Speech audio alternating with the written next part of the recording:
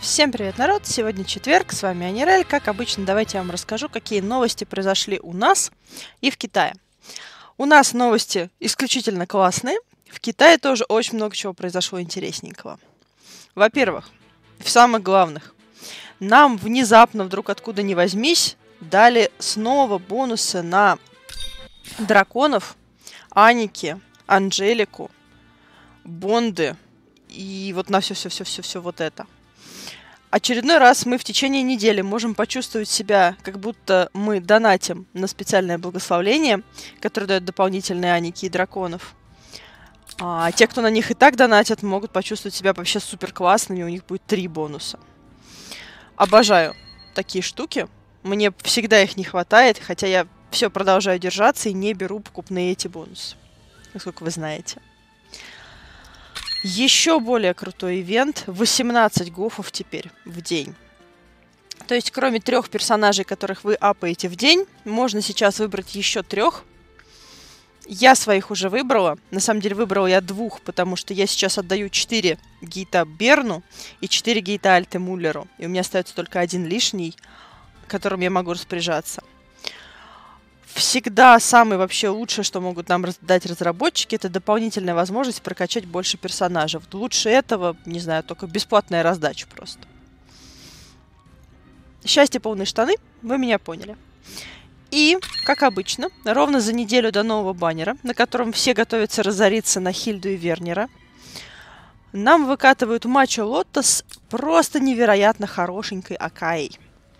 Единственное, что спасает все мои финансы, поющие романсы, от вытягивания этого скинчика на все деньги, это, во-первых, то, что у меня банально нету нифига кристаллов, а во-вторых, потому что у меня нету нифига Акаи. Так что, ну, зачем мне ее тянуть? А, и когда-нибудь, я надеюсь, все-таки она у меня появится. Скин, конечно, офигенный, и вряд ли когда-либо его повторят. Об этом чуть позже, кстати, в конце видео, насчет повторения матча лота скинов. Спойлер-спойлер.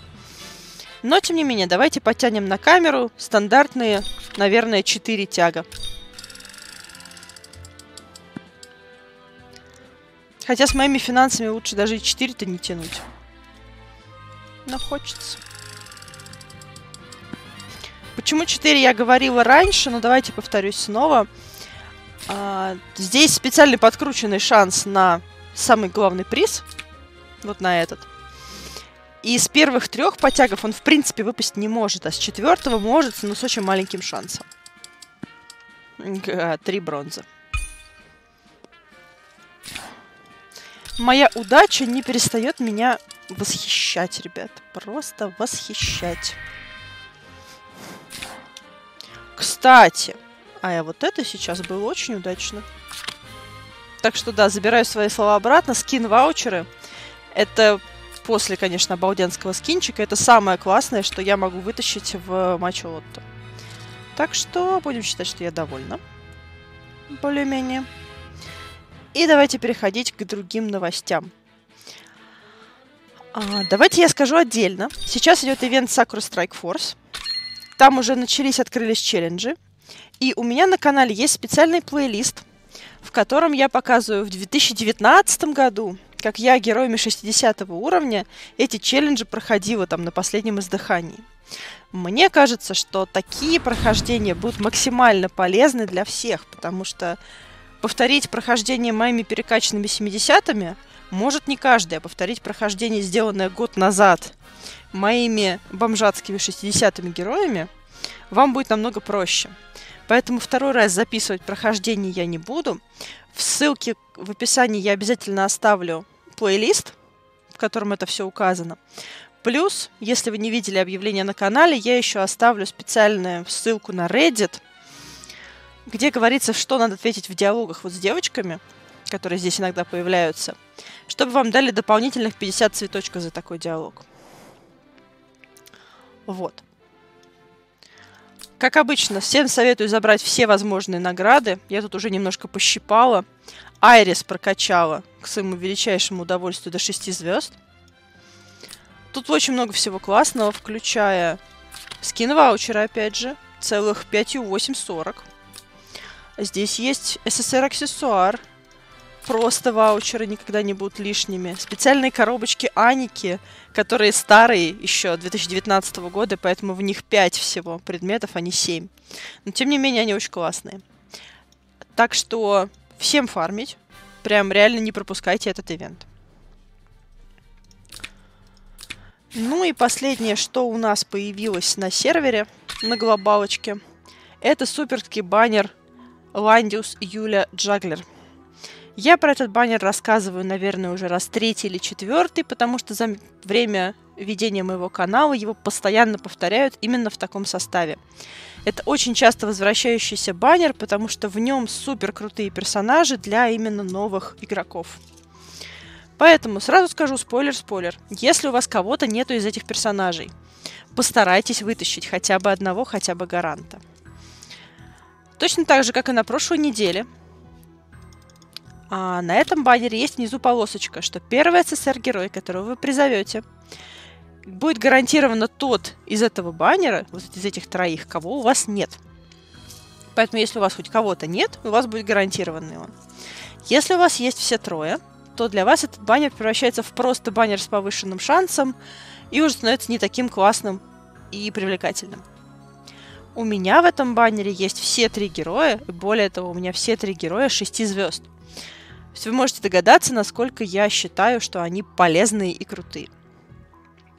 Давайте поподробнее. Ландиус. На данный момент в ПВП но не всех, конечно, интересует ПВП, я понимаю. В ПВП сейчас он уступает свое стандартное место супертанка, потому что вместе с ним сейчас не такой активный в ПВП становится фракция Yeless, фракционный баф, который он несет. Сейчас его немножко слегка стараются заменить Ледином. Не особенно успешно, потому что Ландиус намного лучше Ледина в ПВП. Из-за того, что он может отвечать в range магам, лучникам и всем-всем-всем. А, и на следующей неделе мы ждем Хильду для того, чтобы окончательно его заменить, потому что Хильда примерно тот же самый Ландиус, но для фракции реинкарнации. А реинкарнация у нас, кстати, вот, если кто-то забыл. Reincarnation Tensei. То есть, во-первых, ни в коем случае э, не считайте, что Ландиус хуже, чем Хильда.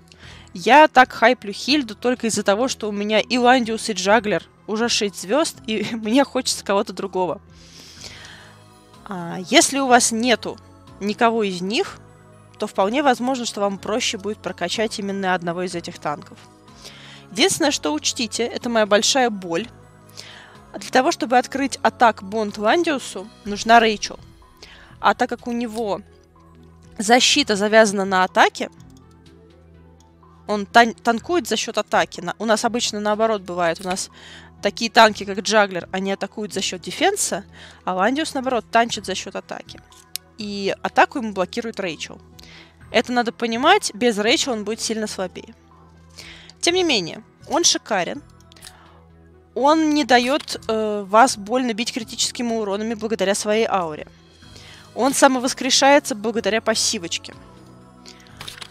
Он несет фракционный баф для Елисов, самый лучший фракционный баф, который только возможен для Елисов. Очень простой и очень сильный. Плюс он имеет кучу всяких разных других способностей, типа возможность кого-нибудь застанить, хотя им, этим пользуются редко.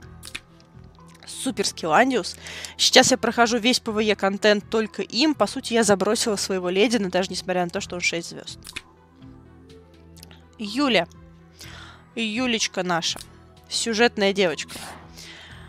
А, в данный момент она с триумфом возвращается в ПВП благодаря тому, что фракции Mythic, которой она принадлежит, и фракция Legion of Glory, глава которой сейчас SP Элвин, тоже вернувшийся триумфально в ПВП, он взял вместе с собой Юлю, и Юля просто жжет. Как я говорила в обзоре на этого персонажа, это такой микс Элвина и Крис, в том смысле, что она атакует с ото всех атак хилится – и плюс у нее еще есть на шести звездах до трех эффектов самовоскрешения, если ее ваншотают. То есть у нее определенное количество хп. Если у нее оно есть, то если ее убиваешь, она воскрешается. Если хп ниже, то она уже воскреситься не сможет. Об этом надо помнить, но это не так важно. У нее есть куча пассивных возможностей подхилить команду. Но все эти возможности, они с атаки. Поэтому нельзя считать, что Юля это хиллер. Юля это в первую очередь большой-пребольшой урон, а только потом возможность подхилить после атаки, если у нее есть нужные пассивки или нужное оружие. Ну, то есть Крис. Крис делает абсолютно то же самое. Она не хилит, если она не смогла проатаковать. Очень сильный damager.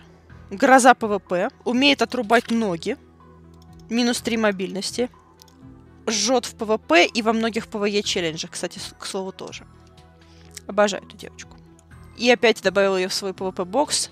Не нарадуюсь. Ну и самый мой, самый просто супер любимый танк, самый лучший мальчик, песик Джаглер. На него гайд у меня есть тоже. Он незаменим как в ПВЕ, так и в ПВП. Причем в ПВЕ самого высокого уровня. Например, в Древнем Зове, где, например, Фенрира, он выхиливает соло. То есть мы не берем хилов вообще на этот бой. У нас всем хилом занимается танк. Потому что каждый раз, когда его бьют, он отхиливает вообще всех союзников на очень много. Эта пассивка у него просто имба. Еще одна имба — это его личный предмет, который дает ему возможность экипировать любое количество очков скиллов во все слоты. То есть у меня джаглер сейчас ходит со скиллами 3, 2 и 2. При максимальном как бы 6 ему не важно. Основной его класс, конечно же, танк. Это Гидра, а не то, что здесь нарисован дракон. Он умеет давать фракционный баф. Кстати говоря, об этом часто забывают, потому что он не хочет его носить. Фракционный баф для зеленой фракции. Умеет защищать от фиксированного урона всех вокруг. Прыгать. Отрубать ноги, когда прыгает. Защищать от фиксированного урона. И просто танчить. Плюс, если он находится в воде, и он сам может делать себе так, что он находится в воде, он может э, так больно откусить врага, при этом, опять же, запрещая ему двигаться, что мне вот, если вы смотрели мое недавнее видео, мне Джаглер с 3300 атаки просто взял и ваншотнул танка. Вот такой вот у нас милый пушистый песик, который говорит, что драться он совсем не любит. Просто сразу голову отрубает. А, я думаю, что вы поняли. Общий итог баннера. Офигенный персонаж, офигенный персонаж, имбовый офигенный персонаж. Если у вас кого-то из них нет, обязательно заведите себе. Изо всех сил советую.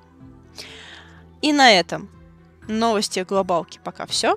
Давайте переходить к новостям Китая, там очень интересно. Итак, я снова с вами, и вторая часть новости из Китая. У нас анонсирован новый коллаб с аниме Running Warriors, которое я, конечно же, не смотрела, но, может быть, смотрел кто-то из вас.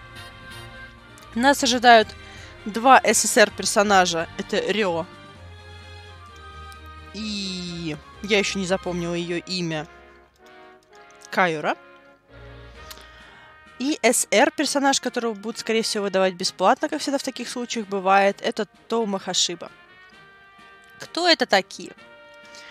Думаю, те, кто смотрели аниме, смогут рассказать в комментариях лучше, чем смогу это сделать я. Я лишь расскажу, что они будут уметь. Звездой этого баннера ожидается Кайора.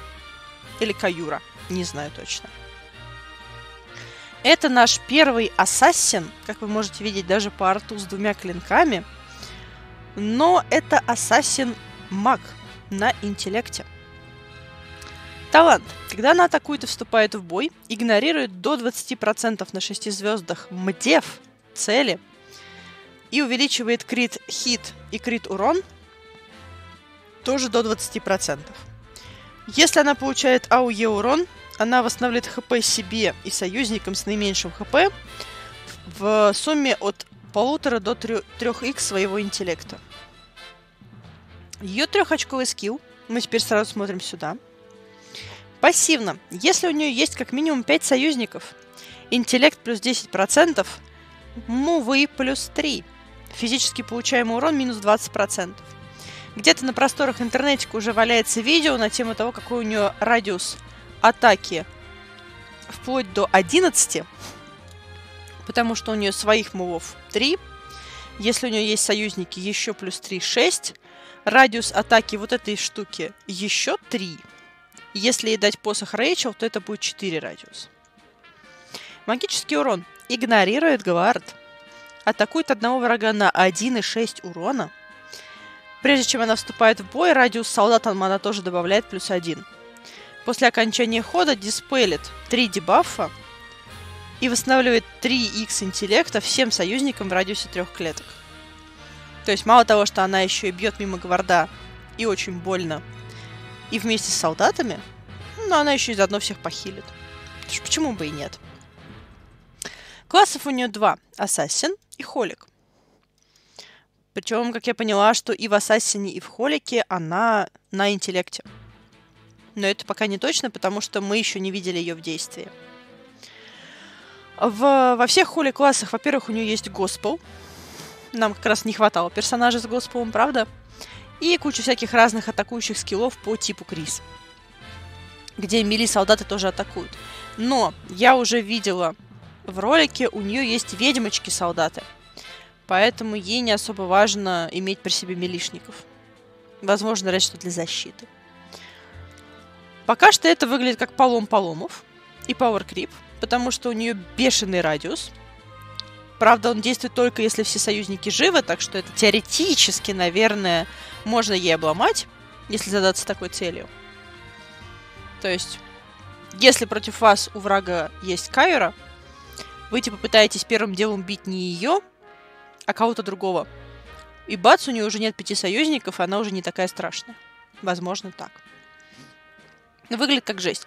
Плюс мне очень нравятся ее фракции Дарки, Мифики и Коллабы. Ну, лучше сложно придумать было, раньше, что еще запихнуть ей Тенсей и Глориков тоже сюда. Классные фракции. А, Рио, с другой стороны, это такой у нас очень злобный мечник. Атака, защита плюс там сколько-то до 25%. Когда он атакует, вступает в бой, он не умрет, если его смертельно, скажем так, ранит. Вместо этого он откатится на то хп, которое было до начала боя. Это может случиться от одного на трех звездах до трех раз на шести звездах раз за бой. Прежде чем он атакует, вступает в бой, или если он заканчивает ход в красной зоне, он получает специальную броню, наносимый урон плюс до 15%, получаемый урон минус до 30%, мув плюс 1, иммунитет ко всем дебафам, такой самый госпел. Действует три хода, не иммунится, не диспелится. Но получает он такой эффект только один раз за 6 и только на 6 звездах один раз за 5 ходов. То есть это не там прям совсем дичь какая-то поломная. Но еще у него есть трехочковый скилл. Пассивно он накладывает на врагов физический урон, получаемый плюс 10% на один ход. А если на нем есть его броня, то 15%. Атакующая часть атакует одного врага, наносит 1,5х урона.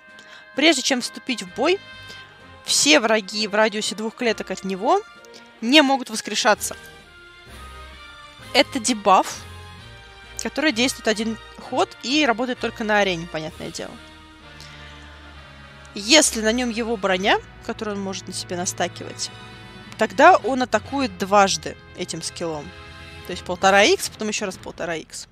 Что здесь важно понять? Это звучит очень страшно, запрет ревайва, но здесь нигде не написано, что это пробивает иммунитеты к дебафам, и нигде не написано, что это не диспелится.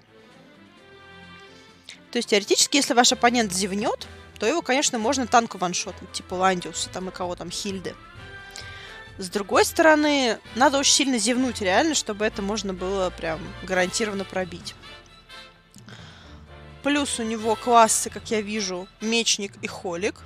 И пока непонятно, холик у него есть, э, второй суперкласс. Скорее всего, есть. Так что мечник... Мечники, они, в принципе, сильные, но против них очень легко быть конницей, и тогда он вам ничего не сделает. Поживем, посмотрим, как я уже сказала, пока что подружка наша Кайора, Кайора выглядит намного сильнее, чем ее партнер по баннеру. Хотя это Обычно всегда так бывает. И с другой стороны, в коллабах потом обычно выясняется, что и тот персонаж, и другой персонаж оба классные. И третий. Лучник. Я не буду проезжаться по его арту, я думаю, вы сами все поймете. Не имеет особо никаких прям супер интересных способностей, кроме того, что да, он лучник. Он СР. Из СР персонажей заиграли единственные коллабные те, которые были хиллерами. Это Айрис и Клозе. Всякие лучники не заиграли вообще нифига. Из интересного, что он умеет, я хочу обратить внимание только на то, что у него тоже иммунитет ко всем дебафам на три хода не иммунится и не диспелится. Еще плюс один рейндж, но это не так страшно. То есть он такой же, как Рё, но не на стероидах. И лучник. Я не заинтересован. Сорян.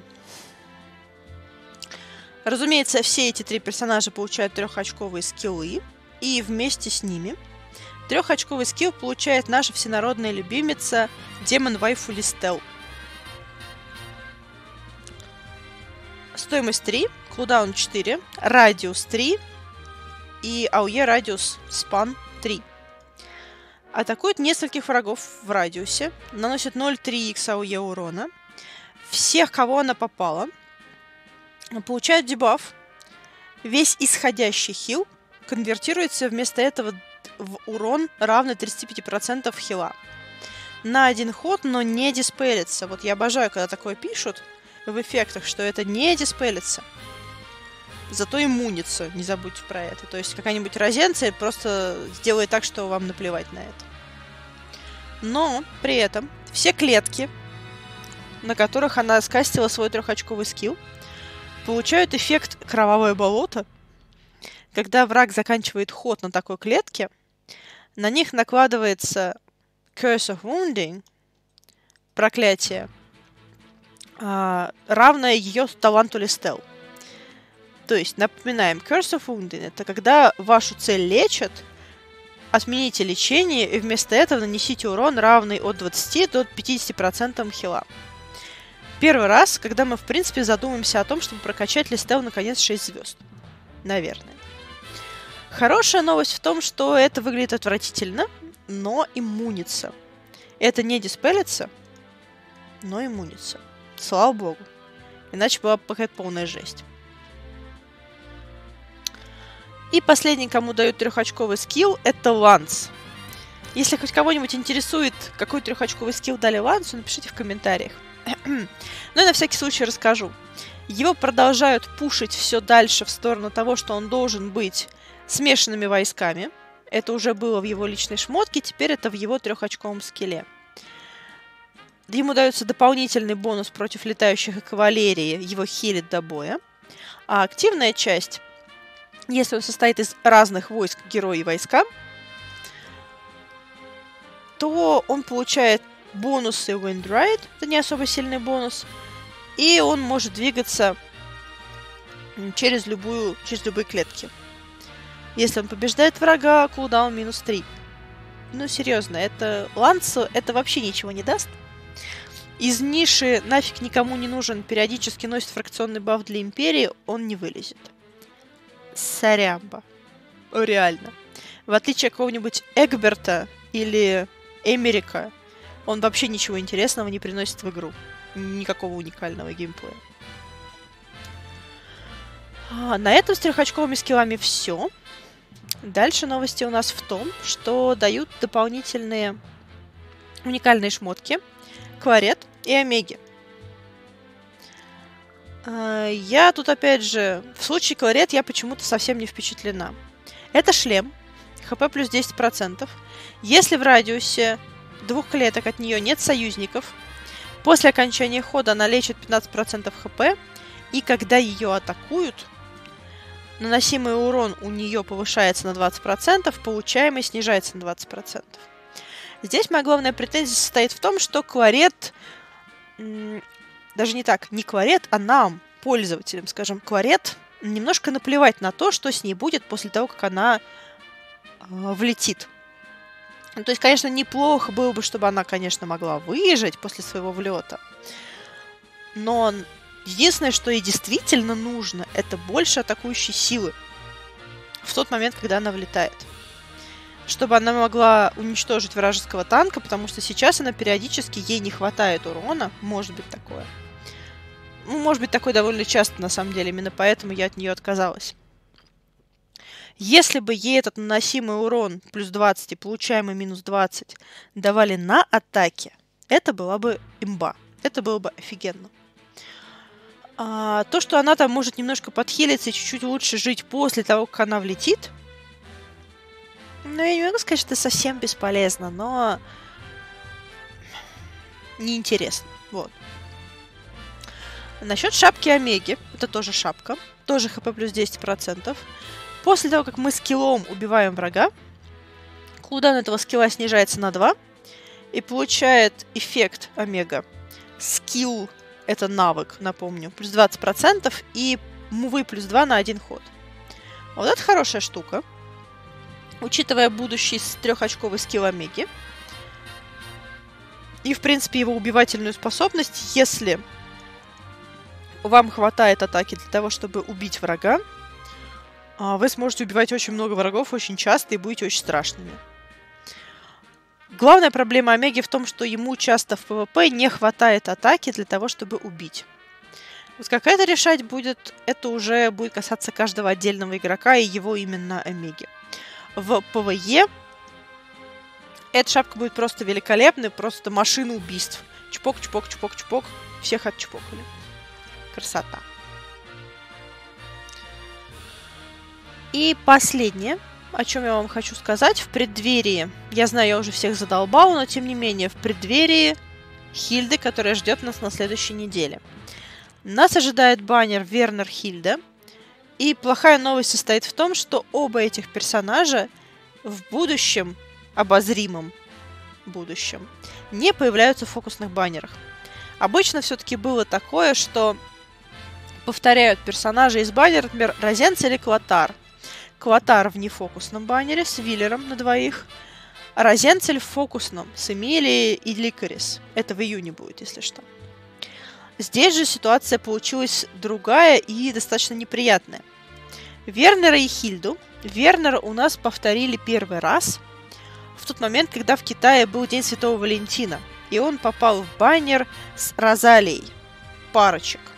Там типа Лу- Луна и Дихард и Розалия Вернер, вот эти два баннера.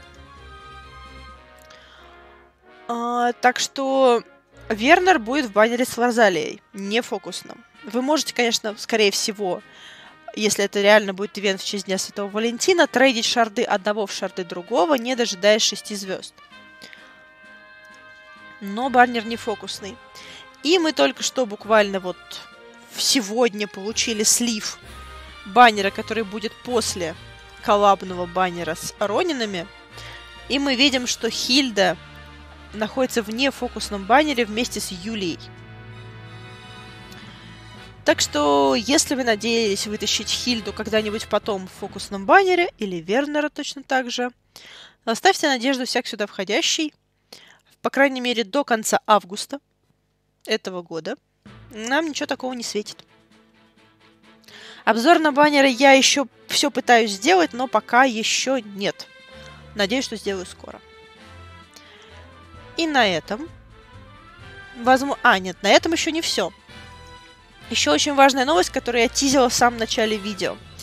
Пришли скриншотики с Китая со специального магазина, где можно купить любые матчо лотто скины из всех, которые когда-либо были релизнуты в игре. А, я из конкретно из этих сохну по Гизароу, я тогда его не взяла и очень жалею. Хотя Гизароум я не пользуюсь. Так что жалею чуть меньше. Всем известный скин на Кварет, на Мистере Найт я ими активно пользуюсь. Виллер тоже у меня есть, кстати, Джаглера я взяла. Очень крутой скин на Ландиуса. А в чем подвох, спросите вы? Подвох очень прост. Это только за донат. Будет ивент в течение 14 дней. За 14 дней вы можете дважды купить вот такой вот токен. 0 из 2, как вы видите на скриншоте. Токен стоит 188 юаней. Это немножко больше, чем 2000 рублей, переводя на рубли. И у вас может быть максимум два таких токена. За такой токен вы можете купить абсолютно любой скин из пропущенных вами скинов Мачо Лотто. Делайте с этой информацией что хотите, что называется. А у меня на сегодня новости закончились. С вами была Анирель. Рада была всех вас видеть, слышать. Всем удачи в баннере. Обязательно расскажите, вытянули ли вы классных новых персонажей. Баннер очень крутой. И всем пока-пока.